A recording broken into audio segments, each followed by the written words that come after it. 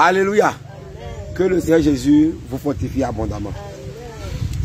Nous bénissons vraiment le Seigneur pour la vie de chacun de vous. Et vous êtes encore là pour le rendez-vous d'aujourd'hui.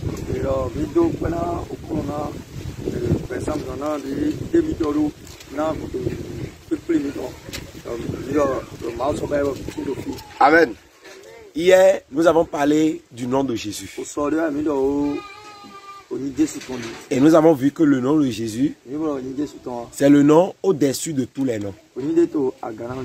Le nom de Jésus, c'est le nom plus le plus grand. Le nom de Jésus, c'est le nom qui détient toute la puissance de Dieu. Le nom de Jésus, c'est le nom qui guérit. Le nom de Jésus, c'est le nom qui délivre. Le nom de Jésus, c'est le nom qui restaure. Le nom de Jésus, c'est le nom qui nous donne de la richesse. Le nom de Jésus, c'est le nom qui règle tous les problèmes. Le nom de Jésus, c'est le nom devant lequel aucun esprit méchant ne peut résister. nu kɔnɔ Le nom de Jésus, c'est le nom par lequel yɛ vous ne craignez plus aucun mal. Alléluia. Et nous avons vu, pour finir, fo que le nom de Jésus, c'est tout. yɛ Et il fait tout pour nous.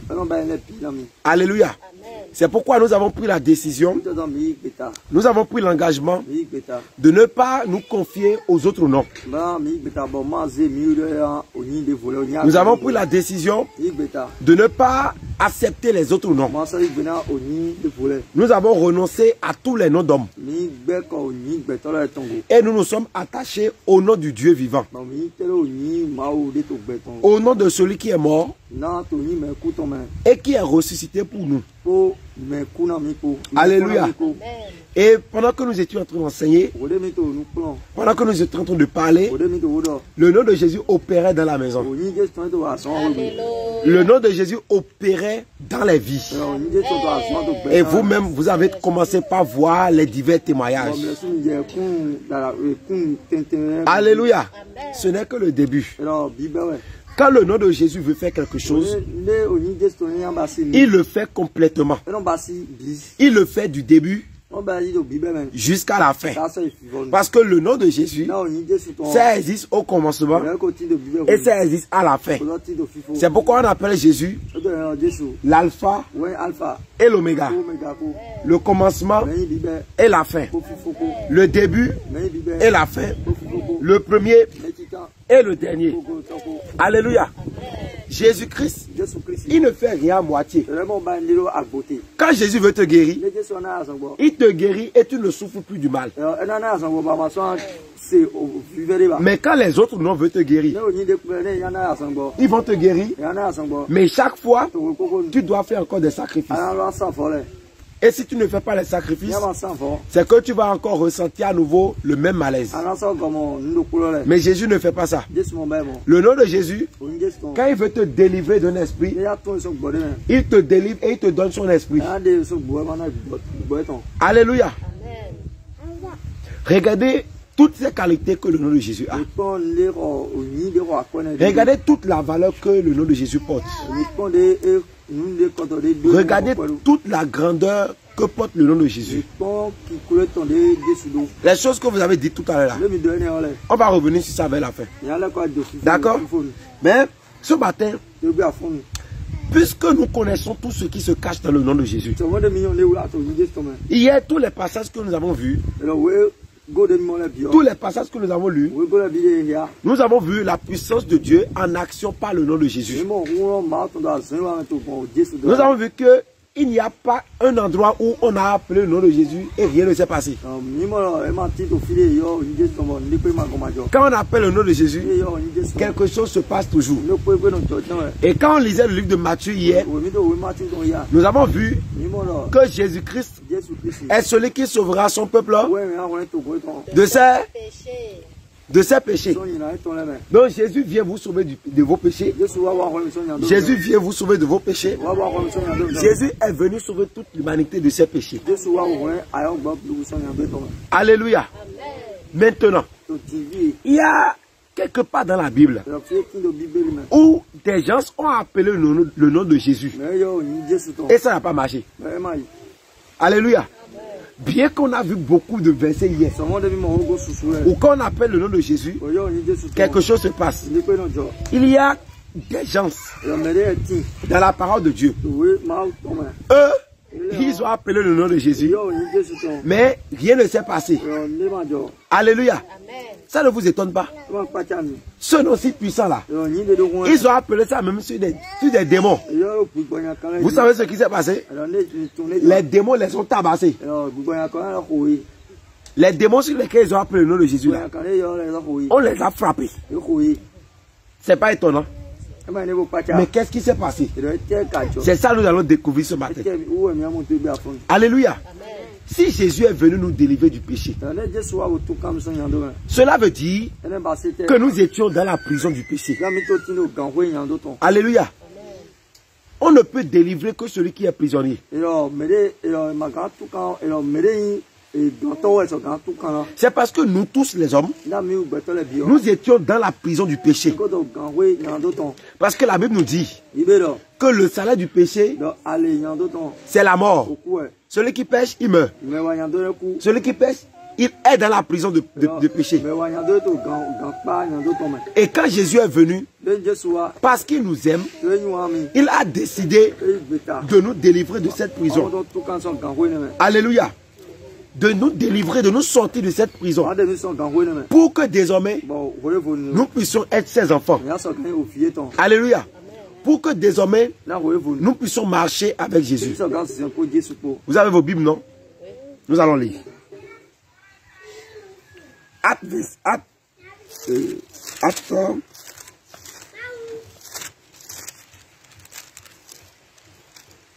acte 19. Acte des apôtres, chapitre 19.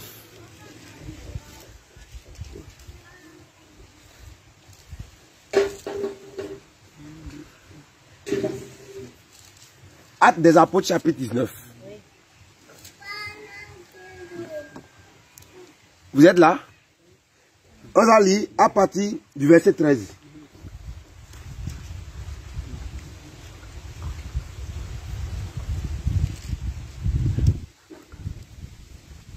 À partir du verset 13. Lisez. lisez. Oui, lisez. La parole de Dieu avec respect. Amen. Quelques exorcistes juifs ambulants essayèrent d'invoquer sur eux qui avaient des esprits malins le nom du Seigneur Jésus en disant Je vous conjure par Jésus que Paul prêche. Écoutez. hein. Oui. Ceux qui faisaient cela étaient sept fils de Séva, Oui. juifs, l'un des principaux sacrificateurs. Oui. L'esprit malin leur répondit. Je connais Jésus Oui. et je sais qui est Paul. Oui. Mais vous, Mhm. qui êtes-vous? Ah, on devait interpréter pour notre soeur. On reprend, on reprend. Quelques exorcistes juifs ambulants yɔ n'a mɛ de yɛ to juw lɛ mɛ bɔ yɛ dɔn mi tu essayaient d'invoquer sur eux. Qui avaient des esprits malins. Le nom du Seigneur Jésus. En disant Je vous conjure par Jésus mɛ que Paul prêche. Ceux qui faisaient cela étaient sept fils de yɔ Séva, yɔ vi tiɲɛ o se ba tɔn lɛ juifs, l'un des principaux sacrificateurs. L'esprit malin leur répondit Je connais Jésus. Je sais qui est Paul. Mais vous, qui êtes-vous? Et l'homme dans lequel était l'esprit malin. S'élança sur eux, se rendit maître de tous. Et les maltraita. De telle sorte qu'ils s'enfuient de cette maison, nus et blessés. Cela fut connu de tous les Juifs et de tous les Grecs qui demeuraient à Éphèse. Et la crainte s'empara de tous. Et le nom du Seigneur Jésus était glorifié. kpikpa Plusieurs de ceux qui avaient cru venaient confesser et déclarer ce qu'ils avaient fait. Et un certain nombre de ceux qui avaient exercé lɛ les arts magiques ayant apporté leurs livres, les brûlèrent devant tout le monde. On en estima la valeur à 50 000 pièces d'argent. C'est ainsi que la parole du Seigneur croissait en puissance Amen. Amen. Vous avez écouté? Vous avez écouté? Nse Hein? Vous avez compris? Vous avez vu ce qui s'est passé? Vous avez vu? Ils sont, la Bible nous dit, eux, lɛ ils passent dans la ville. Et ils se donnent le nom de ceux qui chassent les esprits méchants. Mais d'habitude, quand eux veulent chasser les esprits méchants, n'o nya au nom des hommes. Alléluia. Parce que eux, ils, ils n'adorent pas Dieu. Eux, ils n'adorent pas Jésus. Donc quand ils voient quelqu'un et ils veulent chasser un esprit, il faut par exemple dire au nom de Jéhovah, sors. Mais quand l'esprit qui est dans la personne sort, c'est Jéhovah qui entre. Alléluia. Quand un marabout vient et il chasse un esprit, l'esprit qui est dans le marabout. Entre maintenant dans la personne. Alléluia. Maintenant, ils ont entendu que Paul, il passe dans la rue. Ils ont appris que Paul, lui aussi, prie pour les gens. Au nom de Jésus. Et les gens sont délivrés. Délivrance vrai, vrai. Alléluia. Délivrance dans les autres noms là. C'est pas vrai. yin nugbo. C'est pas authentique. nugbo lɔ. Parce que quand l'esprit sort, c'est l'esprit du nom là qui entre en toi. Parce que le nom qu'on évoque sur toi, c'est un esprit qu'on appelle dans ta vie. Alléluia. Maintenant, ils ont dit, ils se sont dit qu'eux-mêmes, ils vont faire la prière au nom de Jésus. Or, ils n'ont pas accepté Jésus. Ils ne croient pas en Jésus. Donc, ils ne sont pas enfants de Dieu. Alléluia. Et ils ont vu mɔ. les gens qui étaient tourmentés par les démons. Et ils, ils se sont commencé par dire, au nom de Jésus, que Paul prêche, nous vous chassons. Quand les démons ont entendu ça, ils ont commencé par rire. Alléluia. Ils ont commencé par se moquer d'eux. Je ne sais pas si vous comprenez. Ils ont, ils ont se demandé, mais qui sont ceux-là? E mɛ ne. Nous, les démons, nous connaissons Jésus. Nous savons qu'au nom de Jésus, jesu nous ne résistons pas. Nous aussi, yɛ. on connaît Paul. On sait que Paul, c'est un enfant de Dieu. C'est un serviteur de Dieu. Et quand Paul dit au nom de Jésus. C'est tout comme si c'est Jésus qui parle. Et on ne peut pas résister. Mais vous là, qui êtes-vous? Vous et nous là, on travaille dans le même camp. mɛ. Alléluia. Le, le pouvoir par lequel vous vous faites délivrant pour les gens, c'est de moi vous avez reçu ce pouvoir. C'est le même pouvoir que nous-mêmes on utilise. sisan. Maintenant, nous là. Nous sommes encore plus forts que vous. Et vous osez venir devant nous? Pour nous dire de sortir. Ah, est-ce que ça se fait? Est-ce qu'un enfant peut venir à la maison? Et dire à son papa de sortir de la maison. Est-ce qu'on fait ça? Mọ ẹ̀. Est-ce que ça peut marcher? Ẹ̀. Donc, ceux qui se trimballent et qui font la délivrance au nom des, comme vous le savez, au nom de telle personne, au nom de tel, au nom de tel, au nom de tel, et que ce n'est pas Jésus. Ces gens-là, ils savent très bien qu'ils ne servent pas Jésus. Alléluia. Ces gens-là n'ont pas d'autorité. Et quand ils ont dit au nom de Jésus, les démons n'ont pas tremblé. Les démons n'ont pas bougé. Mais qu'est-ce qu'ils ont fait? Ils ont pris des chicottes. C'est les démons là qui ont pris des chicottes. hein. Et on les a tabassés. Ils les ont chicotés. On les a, on a déchiré leur habit. On les a chassés. Alléluia. Est-ce que c'est le nom de Jésus qui est faible? Est-ce que c'est le nom de Jésus qui est impuissant? Ya Alors qu'est-ce qui s'est passé selon vous? Ça, Josiane. Selon vous, qu'est-ce qui s'est passé pour que le nom de Jésus n'a pas travaillé? Mhm. Qu'est-ce qui s'est passé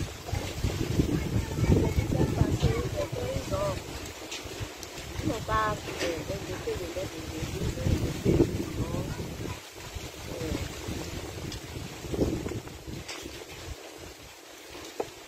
Le nom de leur Dieu, c'est ça Non, mais ils ont dit au nom de Jésus. Et au nom de Jésus Et bon, là, ce que moi j'ai vu, Dieu les a tentés Mm. pour voir s'ils ont la foi. Ok, Amen. d'accord. Que le Seigneur vous bénisse. Ils ont appelé le nom de Jésus, mais rien ne s'est passé. Quand je parlais, j'ai dit que eux là, ils ne sont pas des chrétiens. Ils n'adorent pas Dieu. Est-ce que vous comprenez? Ils n'adorent pas Dieu. Ce sont des idolâtres. Ils adorent d'autres dieux. Maintenant, ils veulent utiliser le nom de Jésus pour glorifier leur Dieu. Vous voyez, non? Donc, ils ont le nom de Jésus dans la bouche, mais ils n'ont pas Jésus dans le cœur. Hier, on a seulement vu que le nom de Jésus est puissant. Ça travaille fort partout. Mais aujourd'hui, là, tegbe nous voulons voir que le nom de Jésus, ça ne travaille pas aussi partout. e bi Ça ne travaille pas dans la bouche de tout le monde. e tɔ mɛ Alléluia. Ça ne travaille pas dans la bouche de tout le monde. mɛ Eux, ils ne sont pas de Jésus. Ils, sont, ils ont leur Dieu. Ils ont leurs idoles. Ils, ils vivent éloignés de Dieu. Et ils veulent maintenant dire au nom de Jésus. Est-ce que c'est possible? C'est pas possible. Donc ce qui s'est passé, c'est quoi? Ce sont des pécheurs. Ils vivent dans le péché. mɛ Ils ont le péché en eux. Ils n'ont, pas, ils pas Jésus. Alléluia. Bien que dans la rue, tout le monde voit que, bon, ce sont des, des- des enfants de Dieu. Ce sont des gens qui parlent de Dieu parce que leur père est sacrificateur. Donc ce sont des religieux. Mais leur vie même là, c'est rempli de péché. Quand quelqu'un vit dans le péché et il dit au nom de Jésus là, ça n'a pas d'effet. Vous comprenez? C'est pourquoi Jésus-Christ est venu pour nous dériver d'abord du péché. Parce que quand tu vis dans le péché, quand tu vis dans la désobéissance et que tu dis au nom de Jésus, non, le sorcier ne va pas trembler. Quand tu dis au nom de Jésus, tu vas voir que rien ne change. a ma ne ma di yɔ Et finalement, tu vas dire, mais le nom de Jésus ne marche pas. ba dɔ o ɲi jesu tɔ ma yi Ce n'est pas le nom de Jésus qui ne marche pas. Le nom de Jésus marche. Mais en réalité, toi, tu as Jésus dans la bouche, mais tu n'as pas Jésus dans le cœur. a ma do jesu tɔ a a se mɛ Est-ce que ici, il y a des gens qui ont Jésus dans le cœur? Des gens qui ont vraiment Jésus dans le cœur. Est-ce qu'ils sont ici Alléluia. Jésus-Christ est venu pour sauver l'homme de ses péchés. Et quand l'homme est sauvé du péché, en acceptant Jésus et en acceptant de marcher comme Jésus, Jésus est dans son cœur. Et quand il dit au nom de Jésus, ce n'est plus sa voix, on entend. Mais le nom de Jésus, c'est la voix de Jésus. Et quand les, les démons, quand la maladie, a o tu quand les problèmes entendent le nom de Jésus, ils ne peuvent pas tenir debout. Alléluia. La Bible nous dit qu'on ne peut pas servir deux maîtres à la fois. On ne peut pas servir Jésus et Satan. Soit on veut servir Jésus et on le sert lui seul. Soit on ne veut pas servir Jésus et on va servir Satan. Et quand tu veux faire quelque chose, tu le fais au nom de Satan. Mais quand tu es en Jésus et que tu veux faire quelque chose, ya ba sin de tu le fais aussi au nom de Jésus. Mais on ne mélange pas. voyez, même l'homme ne peut pas mettre deux doigts dans le nez. Ça n'entre pas. Donc soit c'est Jésus, soit ce n'est pas Jésus. Mais vous ici là, vous êtes pour qui? Vous êtes pour Jésus ou bien vous n'êtes pas pour Jésus? Vous êtes pour Jésus. Maintenant, Jésus veut trouver de place dans vos cœurs. Pour que lorsque vous allez parler de Jésus, lorsque vous allez crier le nom de Jésus, tout ce qui se passe quand on appelle Jésus, ça puisse se passer. Sinon, si vous n'avez pas Jésus dans votre cœur, s'il y a encore le péché dans vos vies et que vous appelez le nom de Jésus, les ténèbres ne vont pas partir. Parce qu'ils n'auront pas peur. Si vous êtes encore dans le péché et que vous, vous appelez Jésus, la puissance de Dieu ne va pas descendre. Parce que la puissance de Dieu ne reste pas là où il y a le péché. Alléluia. Donc ce travail-là, ní lọ c'est ça le Seigneur veut faire ce matin. C'est très très important. rẹ̀ Regardez ce qu'il dit encore. Il dit, ẹ lọ quand ils ont vu que la chose s'est passée comme ça, plusieurs de ceux qui avaient cru venaient confesser leur péché. Venaient dire, ah, moi je faisais ci, yìí moi je faisais ça, yìí moi je faisais ci, moi je faisais ça. Hier maintenant, vous avez vu là, tout ce qui est dans le nom de Jésus, n'est-ce pas? Est-ce que vous croyez? Vous croyez que le nom de Jésus est puissant? Vous croyez que le nom de Jésus peut guérir? Vous croyez? Maintenant, nous allons passer à l'étape de confession.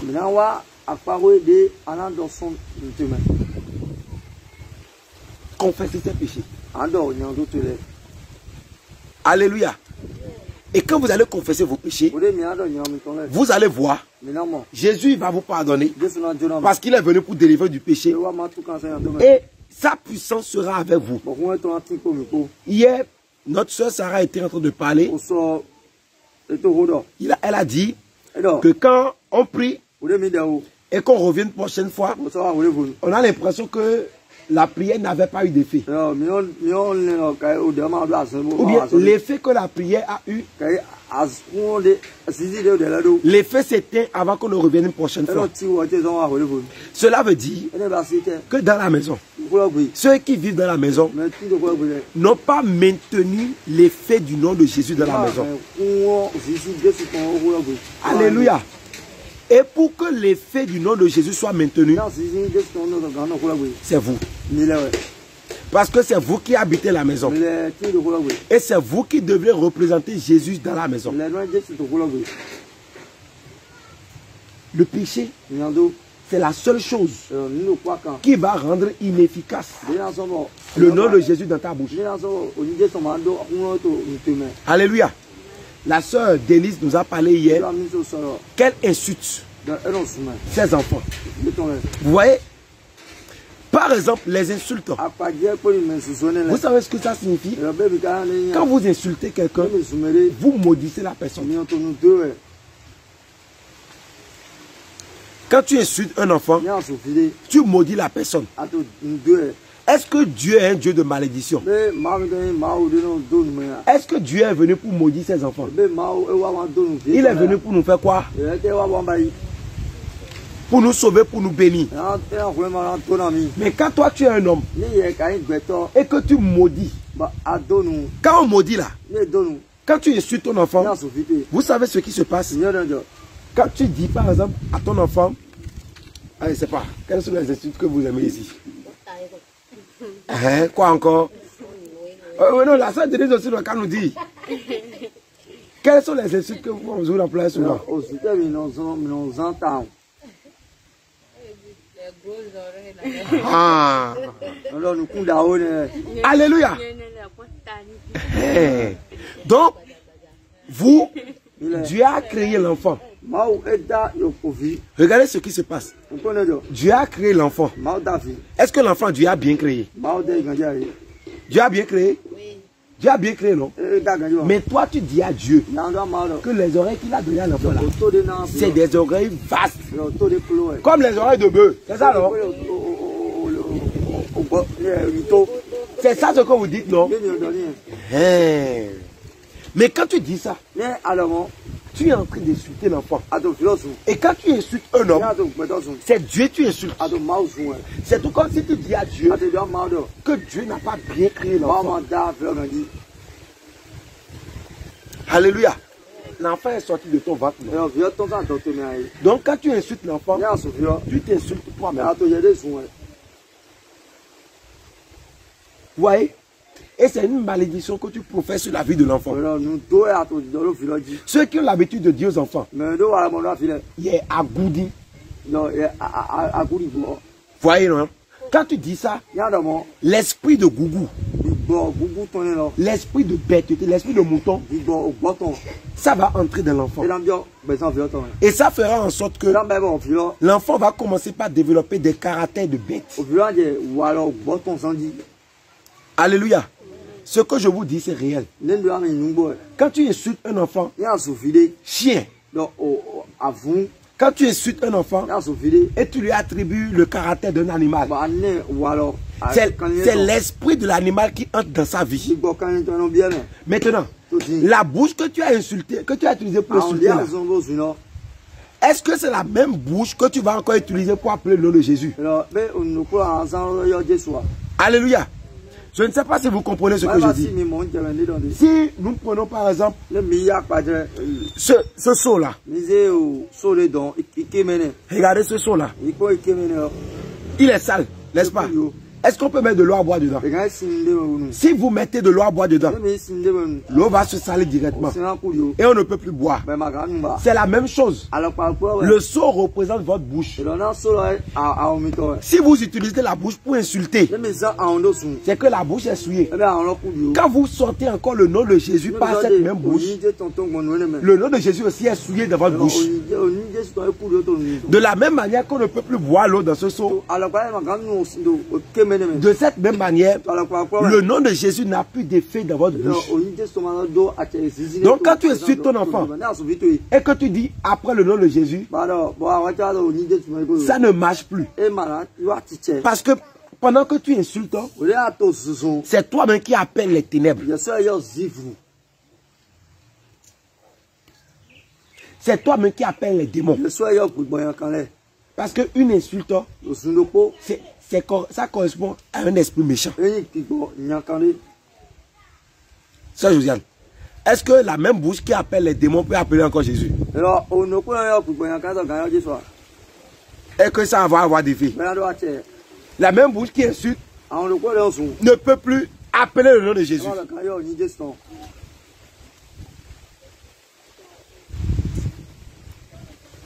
Alléluia. La même bouche qui insulte son mari. Ne peut plus appeler le nom de Jésus sans avoir des filles. Quand tu insultes ton mari et que tu appelles le nom de Jésus sur les sorciers, tu appelles le nom de Jésus sur les sorciers. Façon, façon dont on a chicoté les gens dans la Bible. C'est comme ça quand tu vas dormir là. Les sorciers vont venir te chicoter. C'est pourquoi parfois, quand tu pries, tu dors, et tu viens, tu vois que tu as souffert dans ton sommeil. Et tu te demandes, mais j'ai prié avant de dormir, qu'est-ce qui s'est passé?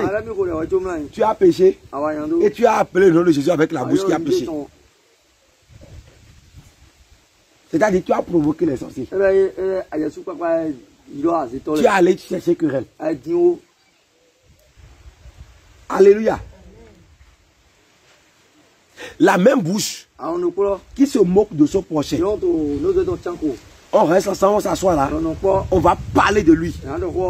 On va dire comment il est mauvais. On va rester ensemble. On va l'insulter. Tu- Tu vois ce que lui fait là. kaba Tous les jours, il est comme ça. Il ne peut que rester comme ça dans sa vie. Est-ce que c'est Dieu qui l'a pu créer Lui là, il vient d'où? Toujours, toujours, c'est les problèmes. Et on se moque de lui. Quand il est là, ah non, mais tu es bon. gànjí Telle personne, c'est une bonne personne. jẹ́ Mais quand il te tourne le dos, on se moque de lui. On commence par envoyer le nez derrière lui, comme ça. Comme ça. On commence par le wọ́n jẹ́ regarder avec les yeux. Je ne sais pas comment vous faites vos yeux là. Le bon. Est-ce que si vous faites ça et que vous appelez le nom de Jésus après, ça va avoir des filles ya Ça ne peut pas avoir des filles. La même bouche, quand ton mari dit un mot, tu cries et tu dis trois mots. Et tu commences par crier sur ton mari.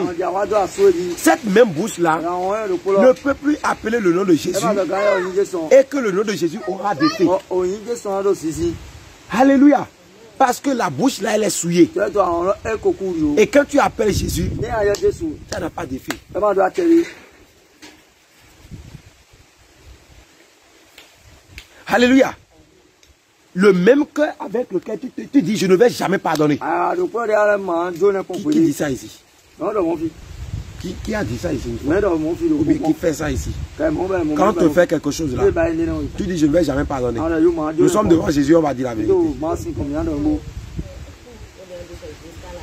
Hmm, Kaka dans nos coups, maman dans nos gbélé là. Il faut popo. J'ai fini avec lui comme ça.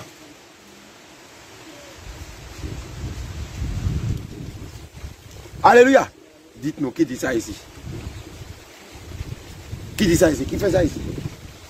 Ou bien qui a, qui a dans son cœur la rancune contre quelqu'un? Et quand tu vois la personne, ton cœur chauffe, ça chauffe, ça chauffe. Tu as mal. Qui? Ọ̀ mẹ́wọ́n bẹ́ẹ̀ mọ́ fi. Ní àmú àdó àdó kò kòmẹ tẹ́lẹ̀ kò ní oṣù tó kó wà ẹ̀rọ ní àmú èlé kòmẹ tó lọ kù ní àwò. Qui dit ici que je, ne vais, je ne vais pas lui pardonner? Mẹ́wọ́n lọ fi ọmọ àjọ náà. Personne ne dit ça.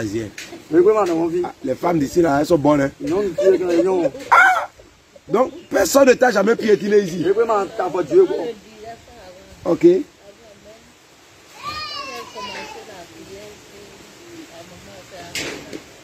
Acclamons Jésus pour sa vie. Et la sœur Josiane.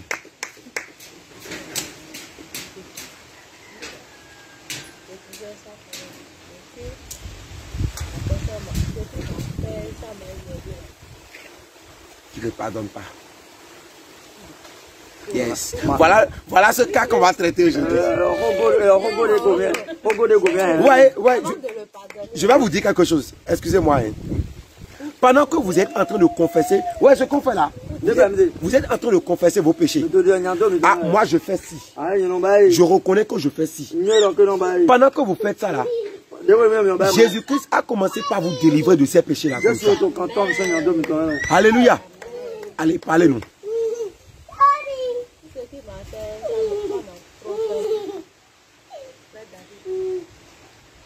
De le pardonner, lui-même, il doit sentir, il doit sentir d'abord. Je vais lui, il doit, il doit, je vais lui faire ça. Ìyẹn nọmba nọmba nọmba nọmba yẹn fọ ẹ. C'est si je je dis pas un mot là. Ẹ pẹ́ ní ma dọ̀ wọlé. Lui-même, il doit sentir, il, il, va, il va sentir quelque chose. Yes. Ah, C'est après ça que je vais le pardonner. Ìrẹ́lẹ̀ Ok. Amen. Ça, de Jésus. Ah! Au nom de Jésus, je vais te faire ça. Et tu penses que tu es en train de prier. Alléluia. Soyez bénis. Ouais, le Seigneur a commencé par faire des choses.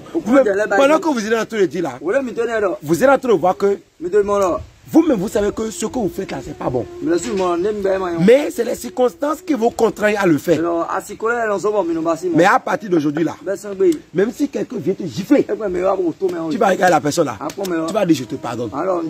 Et tu vas même prier pour la sọ́kò personne.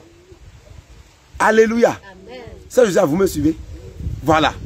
Ce que vous vous dites là, si Jésus devait dire ça pour vous, Vous savez ce que la Bible dit. Que si tu ne pardonnes pas à ton prochain. Jésus ne va jamais, jamais, jamais, jamais, jamais, jamais, jamais te pardonner. Ekpɔn. Vous vous rendez compte de ça? Regardez par exemple, si j'ai un problème avec lui et que je me suis dit je ne vais pas le pardonner e jɔ mi. et que je vais prier. Seigneur, je suis malade. Seigneur, guéris-moi. Est-ce qu'il va te guérir? Beaucoup sont malades aujourd'hui parce qu'ils n'ont pas pardonné leur prochain. Voyez, tous ceux qui sont à l'hôpital là, yɛ. eux tous n'ont pas besoin de médicaments. hein. Il y a des gens parmi eux, ils ont juste besoin de pardonner. E ne si kudo de ni jona n'ozo ye tɔn ko. Je ne sais pas si vous comprenez. Je crois qu'à partir d'aujourd'hui là, ça ne sera plus comme ça. Parce que vous avez confessé. Et pendant que vous confessez, vous êtes en train de renoncer à cet acte-là. Quand tu ne pardonnes pas à ton prochain, je parle à tout le monde directement. La Bible dit que tu es semblable à quelqu'un